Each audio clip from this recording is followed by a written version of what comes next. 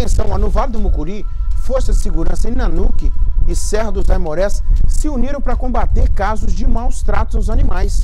Desde 2020, a pena para maus tratos aumentou e prevê prisão de até 5 anos, multa e proibição da guarda. A reportagem está aqui, pode balançar.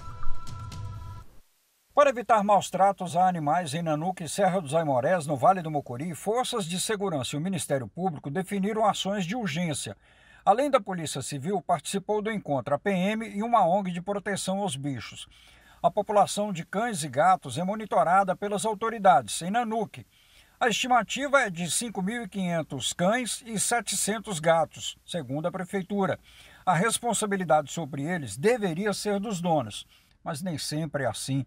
Alguns vivem nas ruas. A lei de crimes ambientais tem artigos específicos para maus tratos aos animais. Especificamente no caso de cães, a mais recente modificação aumentou a punição aos infratores. Segundo o tenente Vinícius, as ações de investigação de maus tratos serão imediatas, até com prisão em flagrante. É, notamos uma, um aumento de demanda aqui na nossa região e, em razão disso, né, em caso de flagrante, a Polícia Militar estará atuando.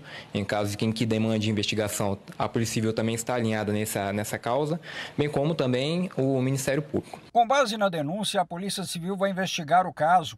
Delegado em Nanuque, João Ferraz chama atenção para as punições previstas a quem maltratar os bichos. E avisar para a população que isso é crime, crime grave, que é apenado até com cinco anos e que agora passaremos a estar recebendo essas notícias de forma de um canal direto por conta do aumento nos casos de agressões a cães e gatos em Nanuque e Serra dos Amorés, o promotor Douglas vai tomar medidas legais urgentes para punir os infratores. Em 2020 houve uma alteração legislativa na Lei 9.605 de 98 e o legislador ele parou, é, passou a punir mais severamente esse crime de maus tratos contra cães e gatos, é, passando a prever uma punição, uma pena mínima de dois a pena máxima de cinco anos de reclusão.